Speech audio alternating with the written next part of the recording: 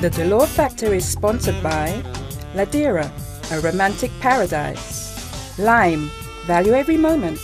Illuminous, your transformation begins here. Rituals, grounds for enjoyment. And supported by the Cultural Development Foundation, Creativity, Culture, Community. My guest today is originally from Antigua but has lived in St. Lucia most of her life. When she was 12 years old, her father bought her a guitar for $40, but using it has brought her and the people around her more memories than money could ever buy. My guest says being a musician is a blessing because she brings happiness to those who listen and she feels joy when people tell her how happy her music makes them. When you talk to her, you realize it's not only her music that makes her different, but the way she views life. Her views on love, religion, spirituality and oppression makes complete sense.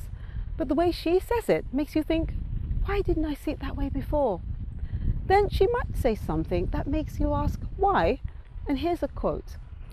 Religion is just black or white. There's no grey area, unquote. Really? Why? I admire her love for music.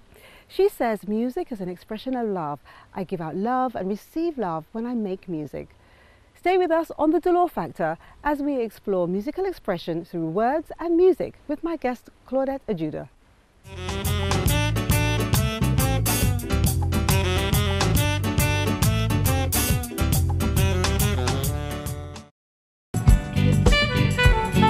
As an entertainer, I have seen many wonderful places around the world, but my favorite is Ladera Resort. Ladera is my favorite place to be, but the reasons why are difficult to put into words. Ladera itself is a mystical place that stimulates unforgettable memories in a setting that awakens your passion for nature and evokes romance. This is a place for rest and relaxation, recreation, and even recreation. I usually go to Ladera for a brief escape from the everyday but I always leave revitalized and inspired. If you ever imagine what it is like in heaven, I believe you will get a glimpse of it at Ladera Resort. Ladera. There is nowhere else quite like it.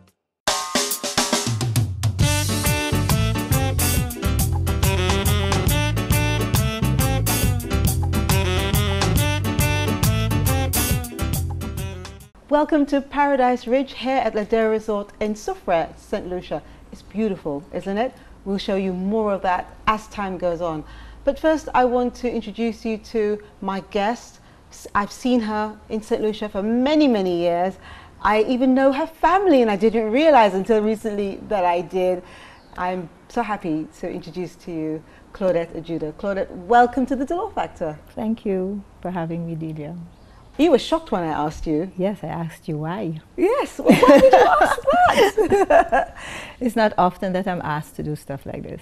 You know you why? Know? It's because people don't truly appreciate you the way that I do and the people of Soufriere do, uh, which is why we want the whole of the Caribbean to know the things that you do and the type of person that you are. Are you okay with that?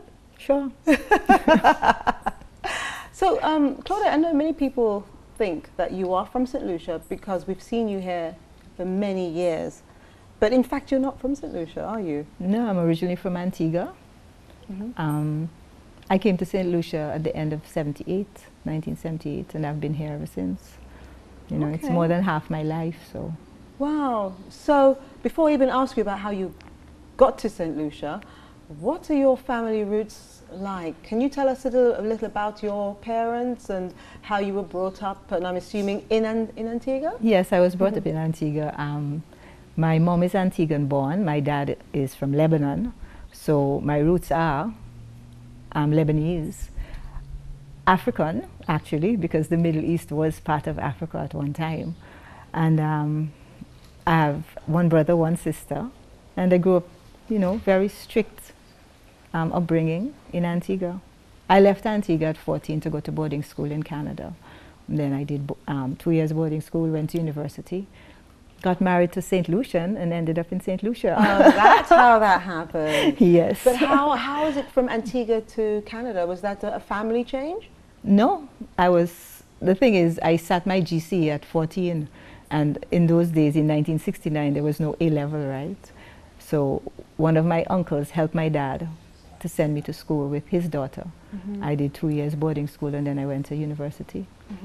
Are your parents uh, uh, and all your siblings still alive? No, my mom and dad died, have died recently, and but my brother and my sister are alive. My sister has her own secondary school in Antigua, St. Anthony Secondary School, and my brother is in Canada, And what's your sister's name? Joanne, And your parents' names? Leonelle, and Marie. I'm sorry to hear that you lost them recently, but you, you, you're such a positive person. Something tells me that you remember the good memories. But I carry them in my heart, so they're always with me, right? is, there, is there a song coming about about that feeling, or because because I know a lot of life things inspires you. Um, at any time when you think of your parents, what are the things that you think about? Love, because that was how we were raised. And my mom had an amazing voice, and my dad bought me my first guitar. I was a little girl. How did that come about? I just told him, Daddy, I want to learn to play the guitar. And he looked at me and he went out and he bought me a, a guitar. And mommy was always singing, and we always had music at home. So there was a Peace Corps who actually taught me my first three chords, and I took it from there.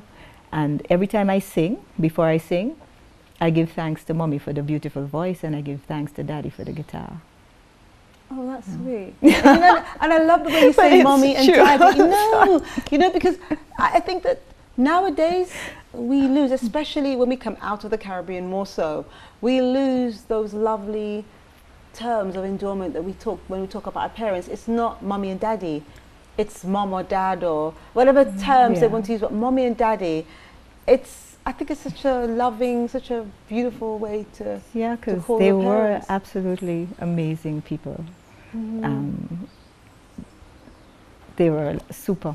Because you know when you first said, well, you know, your daddy just went out and bought you the, the guitar, I thought that's a bit strange because in you know typically, especially when it comes to creativity, uh, families or parents, especially in those days, Mm-hmm. it was frowned upon in terms of well, you you can't really have it for recreation because it's not something that a child does, and you can't really have it for education because you're not going to make any money out of it. Mm-hmm. So when you say that your parents just, your dad just went out. Actually, he put up more of a fuss when I told him I wanted to become a teacher. Because he always said, there's no money in teaching. you know? But still, he never stopped. My dad always taught us when you have a decision to make in life, you look at the advantages, you look at the disadvantages. You make your decision based on that. If you if the disadvantages outweigh the advantages and you still choose, you know, to go that way, then you face the responsibility. You know, and he always taught us to follow our heart, but live honestly. Did it. was your father uh, from an area because it, you know in those days there was still uh, turbulent wars and things like that happening. Uh, still, things aren't really really settled in that part of the world. Did he ever tell you uh, about any stories or any lessons that he learned uh, that he was maybe away from it and that we should maybe you should be grateful for living in a peaceful place like Antigua? Well, he, when he came to, he left Lebanon, um, I guess around 1954, and he came to Guadeloupe actually, and that's where he met my mom because she had sisters who lived in Guadeloupe, and you know they fell in love and whatever and mm-hmm, mm-hmm. got married and stuff. But he never really talked about when he was growing up, but he was always listening to the news and stuff when, you know, when things happened in, in Lebanon. Actually, he was in Lebanon when a particular the war broke out mm-hmm. because he went over there with um, at the time Prime Minister Walter from Antigua took him to the Middle East as his interpreter because Daddy could speak Arabic and French and mm-hmm. English fluently. Mm-hmm. But he never really talked about it, but he gave us books to read.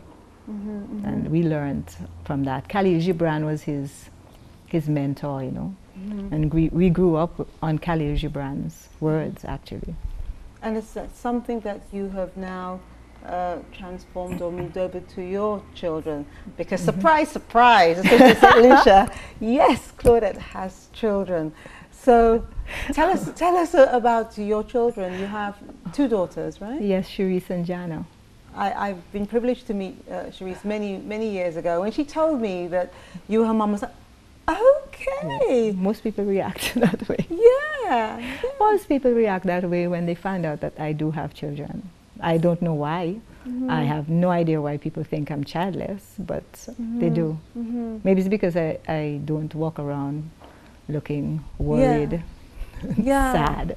But my my my girls are you know, blessings. you say there, you know. No, well, because now everyone else is going to say, "Oh well, does it? You know, I mean, it, is it because I have children that oh, I'm no. But no, Delia, my girls are two blessings. Yes, I could not ask for anything better from them. They are like two amazing girls. They didn't become mm-hmm. lawyers and doctors, mm -hmm. and. Um, I never encouraged them to be anything or anybody. I just told them, look, do what you want to do. I guided, I supported, mm -hmm. and that was it. They made their choices. Mm -hmm. And you gave their careers. some of the teachings of your parents? Always, yes. Live honestly and follow your heart.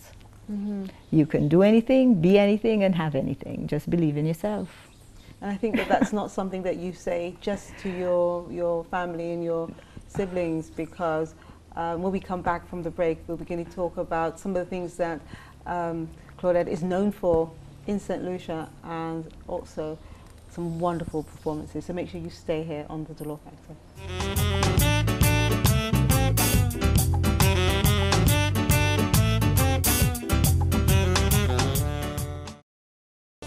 Like to win lunch for two at Dasheen Restaurant at the Ladera Resort in Soufrière?